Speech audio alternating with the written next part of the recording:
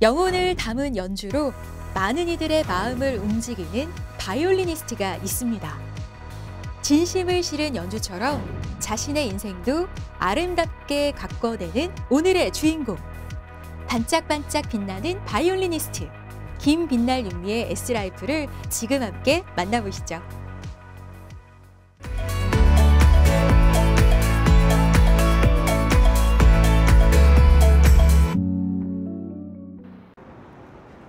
모두가 퇴근하는 시간. 아직 일과를 이어가는 사람이 있습니다. 대학교 미래교육원에서 다양한 연령층에게 바이올린을 가르치고 있는 오늘의 주인공. 밝은 미소가 돋보이는 그녀, 김빛날 윤미인데요.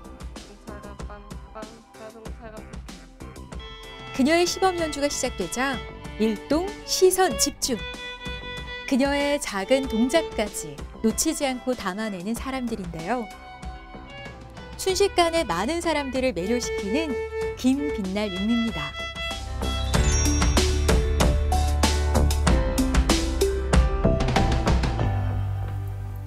안녕하세요. 저는 사람을 살리는 연주가 바이올리스트 김빛날 윤미입니다. 남녀노소 일반인 누구나 바이올리스트가 될 수 있는 누구나 바이올리스트 수업이고요. 지금 현재 연세대학교 미래교육원에서 진행하고 있습니다. 이 과정을 통해서 버스킹과 봉사 연주 같은 이렇게 보람찬 과정들을 함께 하고 있습니다. 초등학교 시절부터 시작한 바이올린 연주자의 길. 전국에서 손꼽힐 만큼 재능이 있던 그녀는 중국 유학을 거쳐 세계적으로도 인정을 받았습니다. 그런 그녀가 바이올린을 시작하게 된 계기는 무엇이었을까요? 제가 초등학교 3학년 때 한 지휘자분께서 이제 랑랑이라는 세계적인 피아니스트가 있어요. 그 피아니스트를 발탁하신 지휘자분께서 저에게 재능이 있다고 권유해 주셔서 시작하게 됐습니다. 저는 좀 대중적인 연주를 많이 하는 사람이다 보니 정통 클래식을 공부를 했지만 어, 많은 분들이 정말 선호하시는 누구나 들어도 즐거운 행복한 음악을 하는 게 제 장점이라고 생각하고요. 또 제가 연주를 할때 어, 많은 분들이 눈을 마주치면서 그분들과 함께 소통하며 연주를 하고 있습니다. 강의를 할 때도 공연하는 무대에 섰을 때와 마찬가지로 항상 긴장하고 최선을 다하는 그녀. 학생 각자의 실력과 장단점을 파악해 눈높이에 맞춰 세심하게 수업을 진행해가는 모습이 돋보입니다. 연주자로서도 강사로서도 만점짜리 바이올리니스트의 모습인데요. 처음으로 바이올린을 배우는 건데요. 너무 기초부터이긴 하지만 필요한 포인트를 잘 설명을 해주시니까 첫 수업이었는데도 굉장히 쉽고 편하게 어, 준비할 수 있게끔 잘 설명해 주셔서 너무 좋았던 것 같아요. 어, 직접 할 때가 아무래도 조금 더 훨씬 자유롭게 저를 쉽게 표현하고 또 소통하는 그런 재미가 있고요. 또 누군가를 가르치는 것은 또 색다른 경험이잖아요. 어, 한 사람이 성장하는 과정을 볼 수 있다는 게 저에게도 큰 성취감을 주는 것 같습니다.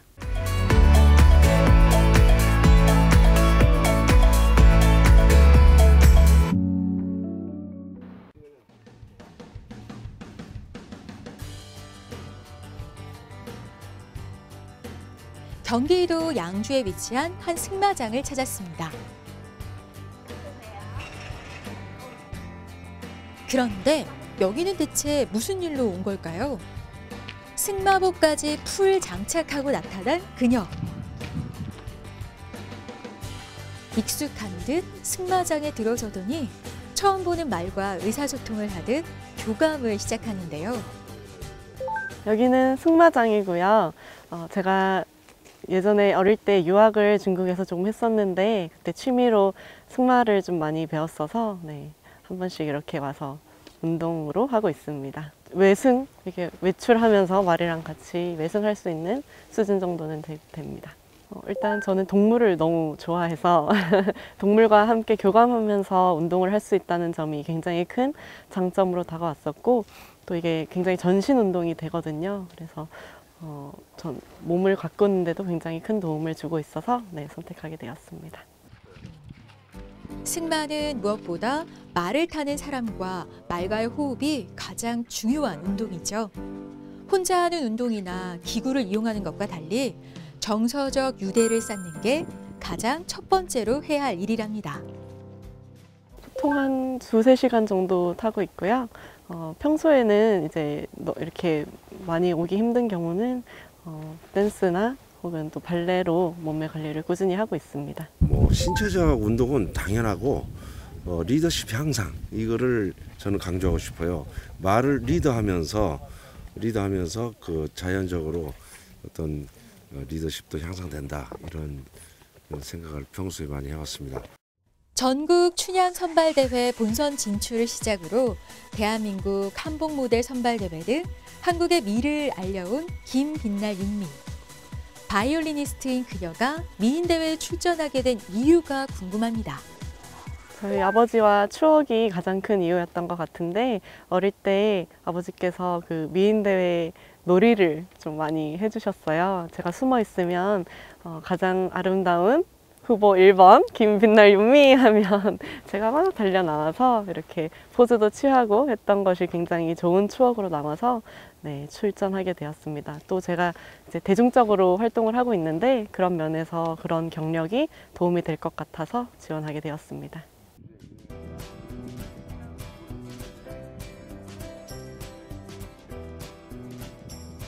스트레스 해소와 집중력 향상, 자세 교정은 물론 근골격계 발달, 균형 감각, 반사신경에도 도움을 주는 승마. 김빛날 윤미는 어릴 적 배운 승마 솜씨로 지금까지 꾸준히 전신 운동을 하고 또 기분 전환도 한다고 합니다.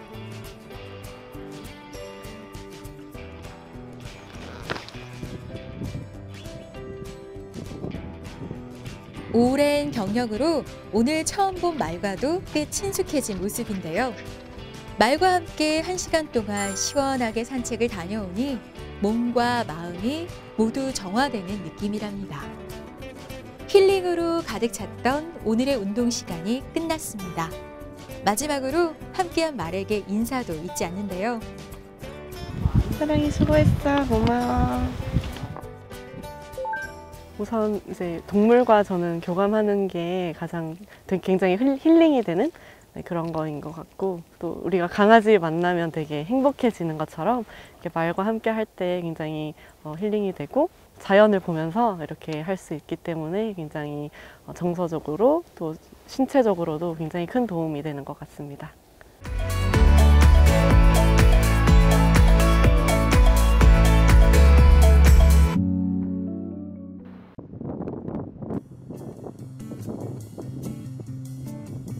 그날 오후 승마로 운동을 마친 김빛날 윤미가 한 커피숍을 찾았습니다. 하루 24시간을 촘촘하고 알차게 보내는 그녀. 바쁜 일과 중에도 꼭 빼놓지 않는 게 있다는데요. 바로 수시로 토마토 등 수분이 많은 채소와 과일을 섭취해 피부를 가꾸는 겁니다. 그리고 요즘 그녀가 매일같이 하는 또 다른 일이 있습니다. 크리에이터로 활동을 하며 많은 사람들과 연주를 공유하는 건데요. 시작한 지는 얼마 되지 않았지만 꾸준한 노력으로 편집도 꽤 익숙해진 모습입니다. 공강 시간이라서 유튜브 편집도 하고 또 이제 강의 준비도 하고 겸사겸사 왔습니다. 제대로 본격적으로는 작년 말 정도부터 시작을 했고요. 저는 혼자인데 이렇게 시간, 시간과 공간의 제약을 많이 느껴서 유튜브를 통해서는 전 세계 사람들과 소통할 수 있다는 점에서 매력을 느껴서 본격적으로 활동해보고 있습니다. 동영상 플랫폼을 통해 활발하게 자신을 알리고 많은 사람들과 공감하며 바이올린 선율로 진심을 나누고 있는 김빛날 윤미. 그런 그녀가 최근 아주 기분 좋은 일이 있었다는데요. 최근에 그 겨울왕국 2에 그 Let It Go를 잇는 Show Yourself라는 네, 곡이 있었는데요. 그 곡이 전 세계에 아무도 커버를 한 사람이 없더라고요. 그래서 그 이유를 보니까 악보가 없어서 네, 커버를 못 하신 것 같은데 제가 그래서 일일이 악보를 다 듣고 따서 연주를 했더니 그게 굉장히 좋은 반응을 일으키면서 전 세계에서 어, 악보는 어디서 구했냐, 악보를 좀 받을 수 있냐라는 질문들을 많이 받아서 굉장히 네, 뿌듯했습니다.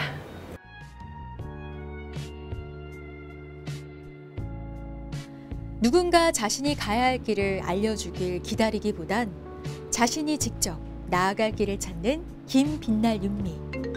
그렇기에 더욱 빛나는 그녀겠죠.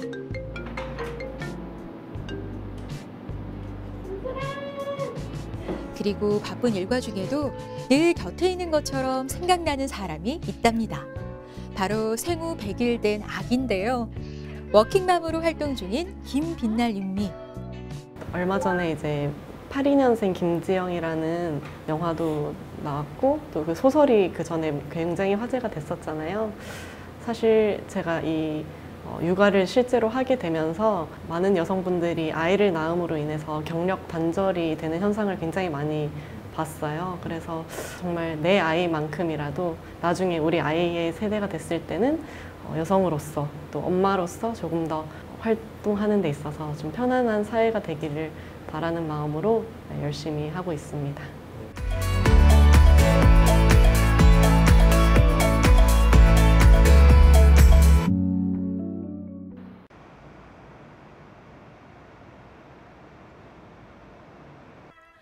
아이에게도 빛나고 자랑스러운 엄마가 되기 위해 오늘도 아낌없이 자신을 단련하는 그녀, 김빛날 윤미.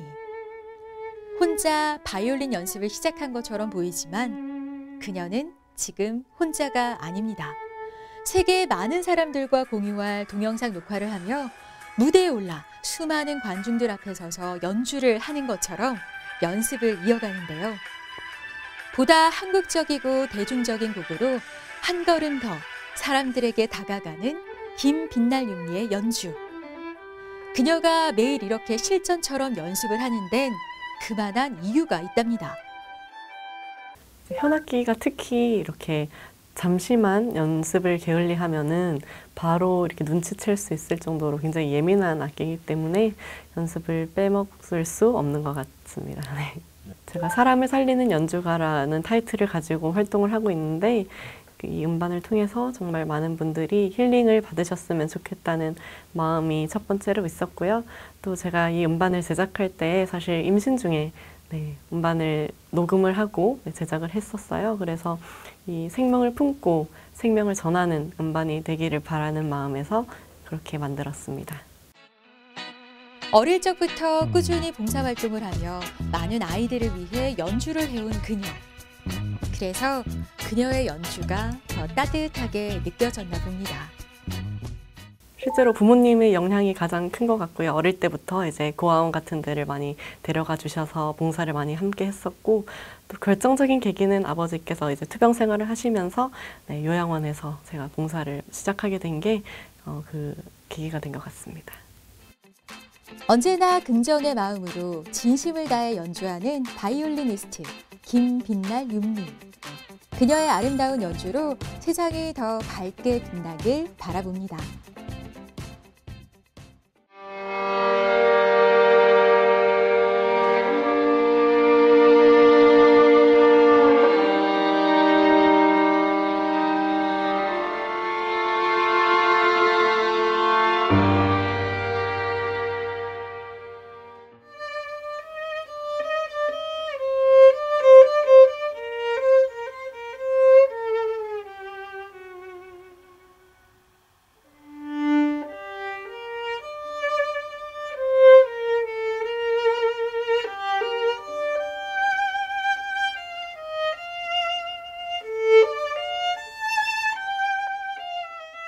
제 좌우명은 항상 기뻐하고 감사하고 사랑하기입니다. 요즘은 워낙 SNS 활동들이 활발하다 보니 다른 사람들의 계정을 보고 제가 너무 쉽게 남과 저를 비교하게 되는 현상을 발견하게 되더라고요. 그러면서 이제 제가 초라해지는 경험을 하게 되었는데 정말 내가 가진 것에 감사하며 이 가진 것으로 남에게 진정으로 베푸는 사람이 되기를 다짐해 보았습니다. 그래서 제가 가진 것에 감사하고 또 이것을 나누면서 살아가도록 노력하겠습니다.